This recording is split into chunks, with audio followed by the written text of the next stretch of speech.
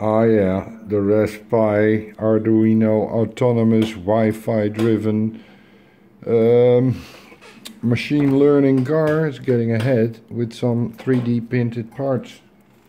3D printed parts, you say? Yeah, 3D printed parts. I've made a platform out of three nice parts, which also encases the battery nicely in the housing of this old car here. And that's made with hemplyne. Hemplyne. Hemplyne is hemp plastic.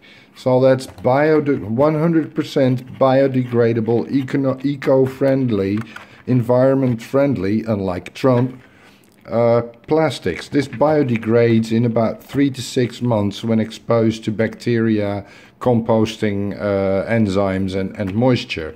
But when you run it indoors or for races and you just dry it off nicely afterwards, hmm, it's not, not a big deal. So this took me about uh, two hours uh, of design, well, one and a half hours of design work and uh, to, and about mm, four hours of printing to make these three platform thingies and attach them to this uh, nice little vehicle here. So now we've got enough space to fit all the shit we want on there, on there, to make it do whatever we want it to do.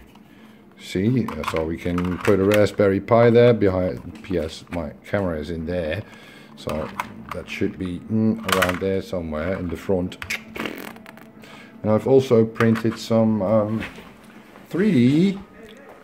Let's see, uh, on the Ultimaker, it's still there. I've printed some um, holders, some some supports for the um, what you call it, the H HCSR04 sonar sensors that you can hook up to the Raspberry Pi and the Arduinos.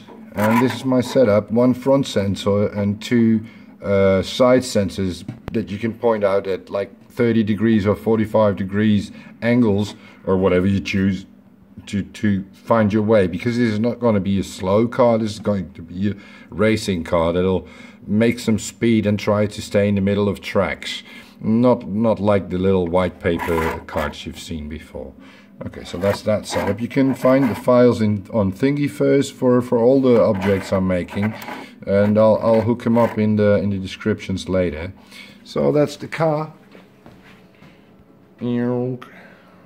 Focus, yes, thank you. That's the car uh, with its parts, the Pi lying on there, the, the Arduino, and, uh, developer hat, and a uh, what's the other one? That's a small uh, uh, motor head in the middle motor driver head in the middle and, and, and servo head but that won't be used because this engine here is much bigger it's a Mabuchi Mabuchi 7.2 volt uh, RC engine so we need a bigger 12 volt 43 amp motor driver for that instead of an escape because an escape is just not the way to go for these uh, autonomous cars you need, need you need a proper uh, motor controller to do forward, backwards in and different at different speeds and, and use some braking on these engines. It's better with a motor controller in my opinion. So that's it for today.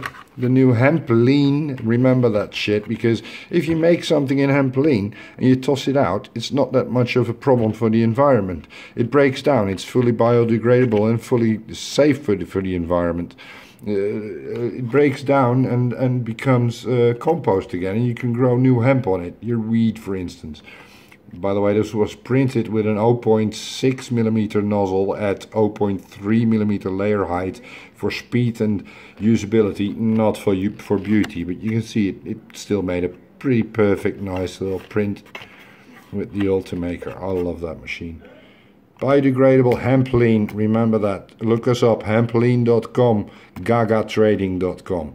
You can send me an email to, uh, about the filaments if you want to do wholesale and stuff. Uh, uh, we make it.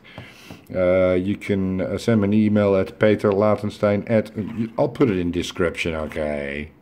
See you later, guys. That's Lunk out.